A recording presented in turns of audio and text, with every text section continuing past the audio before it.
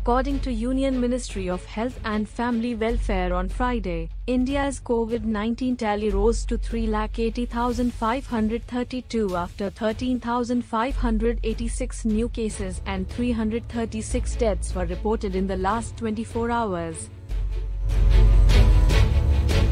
A total of 12,573 people have died due to the viral infection in the country so far, while more than 2 lakh people have recovered from the illness. There are 1,63,248 COVID-19 cases are currently active in the country, while 2,04,711 have cured, discharged, migrated, as per the Health Ministry's latest update on Friday.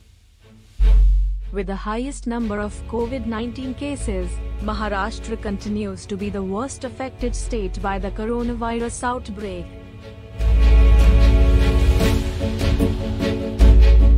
Tamil Nadu is the second worst hit in the country with more than 50,000 cases and 625 deaths, followed by Delhi with 49,979 confirmed cases and 19,69 deaths. Gujarat, 25,601 cases, 1,591 deaths, and Rajasthan, 13,857 cases, 323 deaths.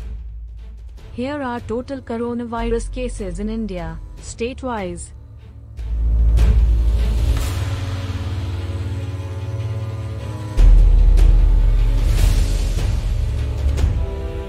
Globally, the coronavirus has infected 84.63 lakh people so far, and killed 4,53,268, according to the Johns Hopkins University.